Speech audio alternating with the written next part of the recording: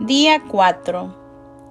Dios Hijo, Redentor del mundo, ten misericordia de nosotros. El santo ejemplo de Jesucristo, que mientras estuvo en la tierra, honró altamente a San José, obedeciéndole durante toda su vida, debería ser suficiente para inflamar todos los corazones de devoción a este santo, San Alfonso María de Ligorio. ¿Estás familiarizado con la frase a Jesús por María? Es una maravillosa expresión de devoción acuñada a principios del siglo XVIII por San Luis de Montfort. En su libro Tratado de la verdadera devoción a la Santísima Virgen María, este santo enseña que María es el camino más seguro, más fácil y rápido de ir a Jesús. Para grabar este mensaje en los corazones de los fieles, San Luis promovió fervientemente el rosario y la consagración mariana.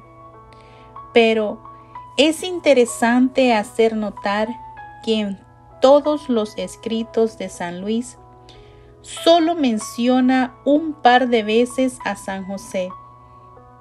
¿Por qué? ¿Acaso no amaba a San José?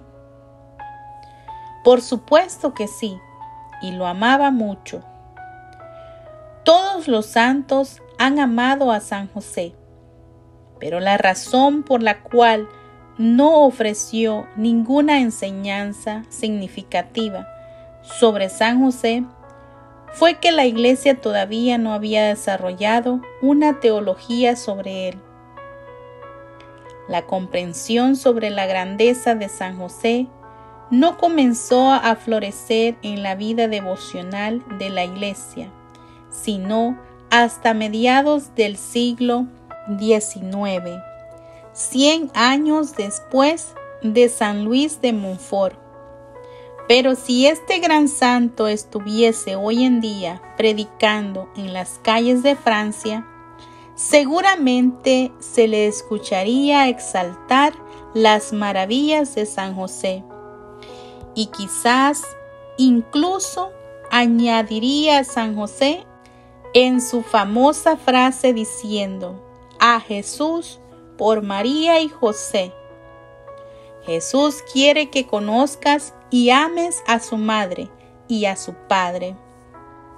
María y José forman la imagen más fiel de Jesús y por esta razón puedo formular el camino más corto a la santidad. Para mí, la vida es Jesús, es María y es José. Venerable Francois Xavier. Los dos santos más grandes de la cristiandad son María y José. La consagración a San José se sigue naturalmente de la consagración bautismal a Jesucristo y de la consagración filial a María. Ciertamente la consagración a San José, tu Padre Espiritual, permite que tu vida esté consagrada a cada persona de la Sagrada Familia. En nuestros días, el matrimonio y la familia están bajo ataque. Jesús y María quieren que te consagres a San José porque no hay padre o esposo que sepa más que él sobre la sacralidad del matrimonio y la familia, o sobre el sacrificio amoroso que se requiere de los padres y esposos. Su misión paternal continúa desde el cielo. Él es nuestro guardián, protector y valiente defensor. Él es el modelo de la santa paternidad después de Cristo. San José es el modelo de la masculinidad heroica y el defensor del matrimonio, de la castidad y de la vida misma. La consagración a San José es la clave para superar la confusión antropológica tan común de nuestros tiempos. Bajo los atentos y amorosos cuidados de San José, todas las ideologías y los ídolos se harán pedazos y se derrumbarán ante Jesucristo. Cuánto te alegraste, San José, de tener siempre cerca de ti a Dios mismo y ver cómo los ídolos de los egipcios caían postrados al suelo ante él. Beato Genaro María Sarnelli. La consagración a San José aumentará tu amor por Jesús. Toda la vida y misión de San José apunta hacia Jesús. San José jamás se señala a sí mismo. Su papel es conducir a todos hacia Jesús, así como lo hace María, quien fue predestinada para ser la Inmaculada Madre del Salvador. San José fue predestinado para ser el Padre terreno del Salvador y tu Padre espiritual, a quien se le ha concedido todas las gracias necesarias para llevar a cabo su misión. Una misión que tiene el propósito de intensificar tu relación con Jesús. José cargó a Jesucristo primero a Egipto y después a Judea, trazando así para nosotros el camino de los apóstoles que predicaron su nombre a los judíos y a los gentiles. San Hilario de Poitiers. San José fue el custodio de Jesús y de María, y naturalmente también ayudó a que las almas que anhelaban unirse más a ellos pudieran hacerlo. Beato Jean Joseph. Privilegios de la devoción a San José. Ama mucho a San José. Ámalo con toda tu alma, porque Él, junto con Jesús, es la persona que más ha amado a nuestra bendita Señora y ha estado más cerca de Dios.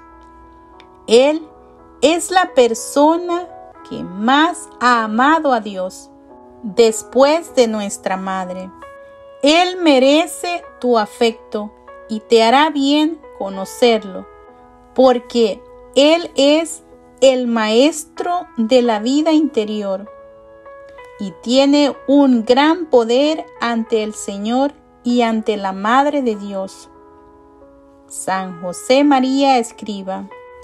Jesús quiere que ames a San José. Nuestra Señora quiere que ames a San José. Ambos lo quieren para que aumenten tus virtudes y tu santidad, sin importar cuál sea tu vocación o tu estado de vida. Serás bendecido si mantienes una devoción ferviente a San José. Los privilegios de la devoción a San José son tremendos y están a tu disposición. La devoción a San José es poderosa porque Él da su protección, su ejemplo y su bendición. San Jorge Preca la beata María Teresa de San José amaba mucho a este santo y recibió gracias extraordinarias del cielo por confiar en su intercesión. Ana María Tauscher. Su nombre antes de entrar a la vida religiosa. Nació en Alemania en el año 1855 fue criada en una fervorosa familia protestante y su padre era ministro luterano. Al paso del tiempo, Ana María se enamoró de las enseñanzas católicas y le hizo saber a su padre que quería convertirse al catolicismo. Su padre, nada contento con su decisión, le dijo que se sentía avergonzado de ella por querer abandonar su educación protestante e incluso le dijo que ya no la quería viviendo en su casa. En una ocasión, viviendo ya por su cuenta, pero antes de ser católica, su padre la visitó con la intención de persuadirla a unirse a la Iglesia Católica. Durante esa visita, el padre descubrió un libro de San José en la habitación de su hija y le echó un rápido vistazo dejándolo de nuevo allí. Más tarde, durante la cena, ridiculizó y se burló de San José en frente de su hija. En su autobiografía, Ana María hace un recuento de aquel evento, escribiendo, durante la cena mi padre dijo, ¿cómo puede alguien rezarle a un hombre tan extraño como ese? Esta expresión de extraño o extravagante me causó una gran impresión. Pensé más y más en San José y adquirí tan grande y tierna devoción al querido Padre San José como yo lo llamo, que pensé que debería hacer reparación por la frialdad de todos los que no creen en él. Después de su conversión al catolicismo, el supervisor de Ana María en el trabajo, un luterano, la despidió por haberse hecho católica y fue tan cruel después de despedirla que siguió hablando mal de ella con otros, de tal manera que ella no pudo encontrar trabajo en ningún lado, por lo que Ana María no tenía dinero ni lugar donde vivir. Sin embargo, su gran amor por San José no disminuyó. Diariamente buscó consuelo en el amor de su padre San José. Eventualmente se le dio permiso de cambiarse a un convento agustino y hacer trabajos menores como una forma de pagar su cuarto y comidas. Escribió, el recuerdo de mi papá preguntando ¿Cómo alguien podía rezarle a una persona tan extraña? Penetró profundamente en mi corazón y de ahí me surgió un gran amor y confianza en él, San José. Me encomendé todavía más a su cuidado paternal y muchas veces San José me dio pruebas de su atención por mí. Eventualmente, Ana María se convirtió en monja, tomando el nombre de hermana María Teresa de San José. Con el tiempo encontraría una nueva comunidad religiosa, las hermanas carmelitas del Divino Corazón de Jesús, y también estableció institutos caritativos alrededor del mundo. Durante toda su vida se refirió a San José como Padre San José, atribuyendo a la intercesión de su Padre Espiritual todo cuanto había podido lograr. El Papa Benedicto XVI la beatificó en el año 2006. en el siglo XVII, la venerable María de Agreda escribió sobre las extraordinarias gracias que Dios concede a los devotos de San José. La venerable María de Agreda fue una mística y aclamada autora de la obra que detalla la vida de la Virgen María, intitulada Mística Ciudad de Dios. Su trabajo es una verdadera obra maestra de la devoción. En el libro escribió ampliamente sobre San José y recibió muchas revelaciones e intuiciones sobre las bendiciones que guardan a los devotos de San José. Ella escribió, pero algunos privilegios he entendido que por su gran santidad le concedió el Altísimo a los que le invocaren por su intercesor si dignamente lo hacen. El primero es para alcanzar la virtud de la castidad y vencer los peligros de la sensualidad carnal.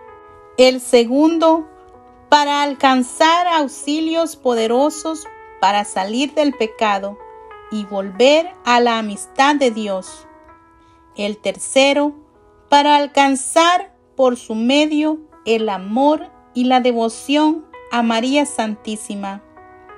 El cuarto, para conseguir una buena muerte y la defensa contra el demonio en aquella hora. El quinto, que temiesen los mismos demonios al oír el nombre de San José. El sexto, para alcanzar salud corporal y remedio en otros trabajos. El séptimo, privilegio para alcanzar sucesión de hijos en las familias.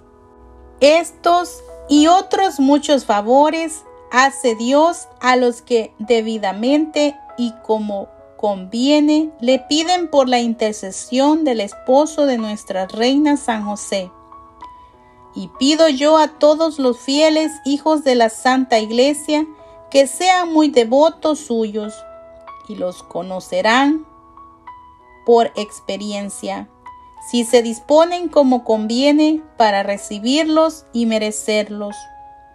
Los siete privilegios de devoción a San José son estupendos.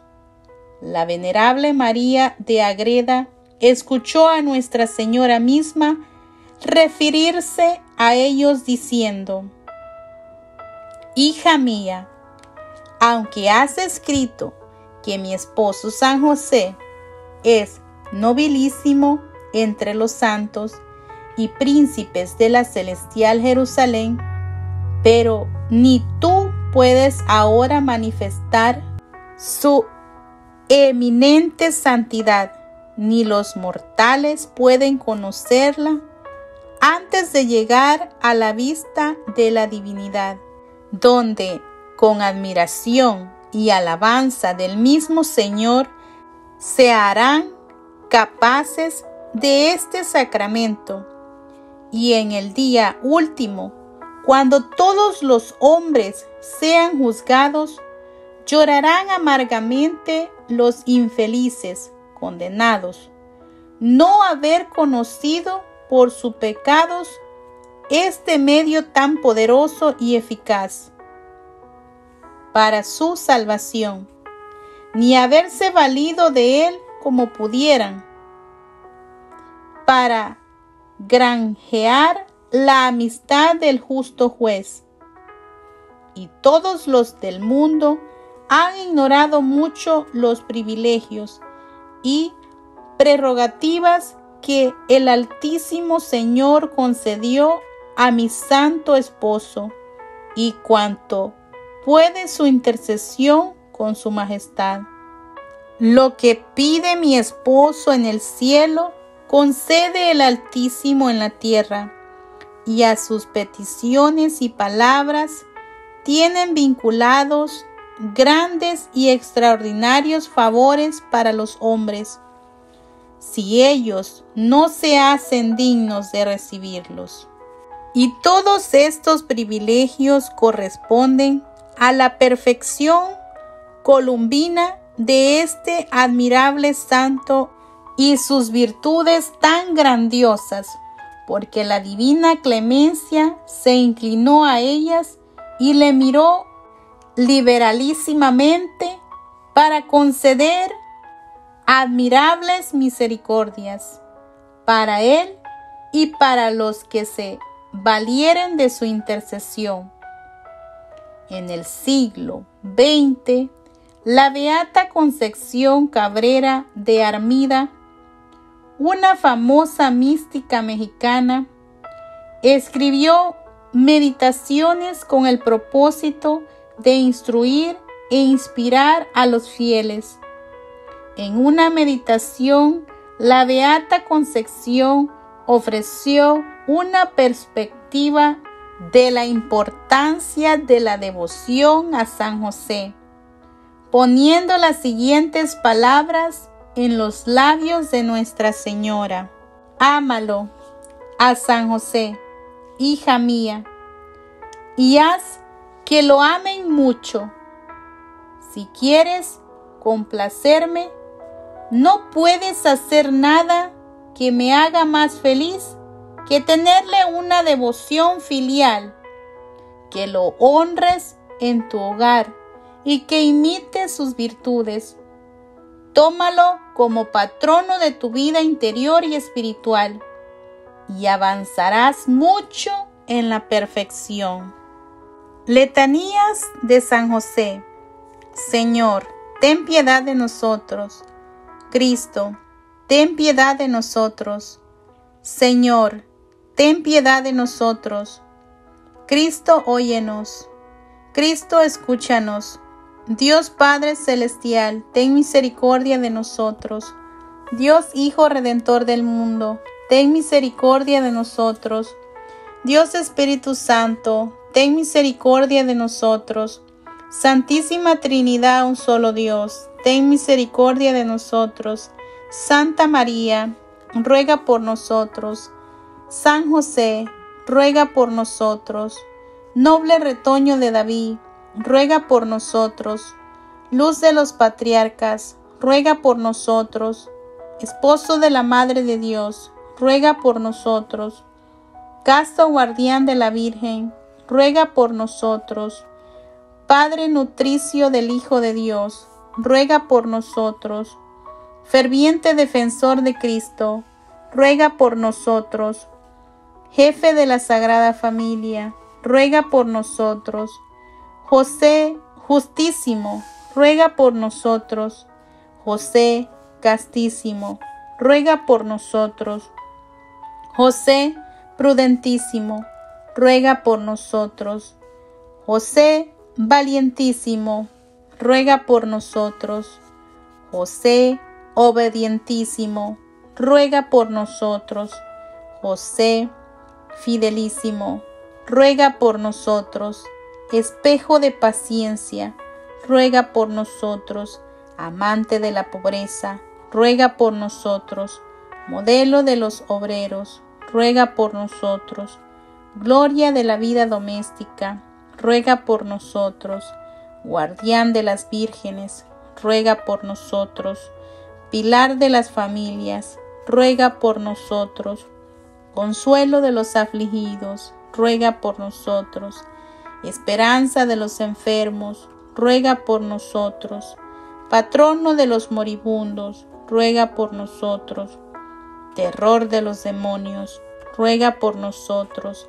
Protector de la Santa Iglesia, ruega por nosotros. Cordero de Dios que quitas los pecados del mundo, perdónanos Señor. Cordero de Dios que quita los pecados del mundo, escúchanos Señor. Cordero de Dios que quita los pecados del mundo, ten piedad de nosotros. Lo hizo Señor de su casa y administrador de todas sus posesiones. Oremos. Oh Dios que en tu amorosa providencia elegiste a San José para ser esposo de tu Santísima Madre. Concédenos la gracia de tener como nuestro intercesor en el cielo aquel que veneramos en la tierra como nuestro protector. Tú que vives y reinas por los siglos de los siglos. Amén.